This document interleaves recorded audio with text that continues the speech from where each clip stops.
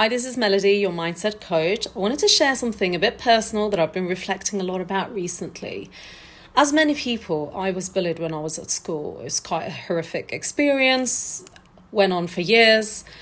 And when I was on The Apprentice, people were like, oh, you know, you're going to get the ultimate revenge. You're going to prove to people like that you're successful and whatever.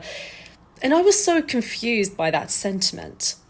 When you are motivated by revenge or proving something to somebody, then the power is external.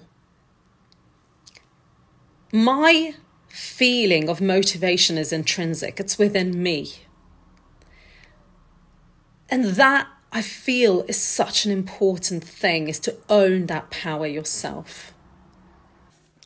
So the next time you hear success is the ultimate revenge, move away from the sense of tying what you do to external factors.